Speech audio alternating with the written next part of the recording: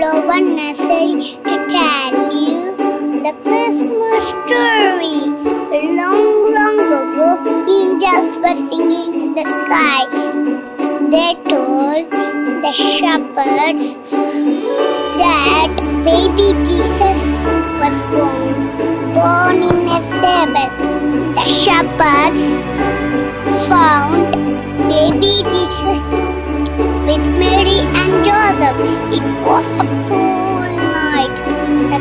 愤怒